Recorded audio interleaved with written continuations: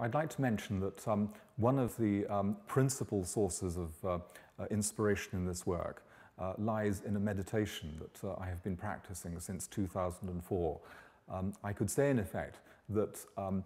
uh, from 1982 until 2004, my work was very much concerned with uh, an exploration, an inquiry, a process of investigation. But since 2004, since I took up a meditation that is taught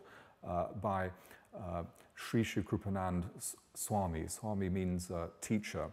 um, the meditation that uh, he, he teaches uh, is an authentic meditation from the Himalayas, uh, which is 800 years old, although it has only in fact come to the West in the last, uh, in the last eight years. And this meditation is a very important part of the inspiration um, behind my work. One of the, um,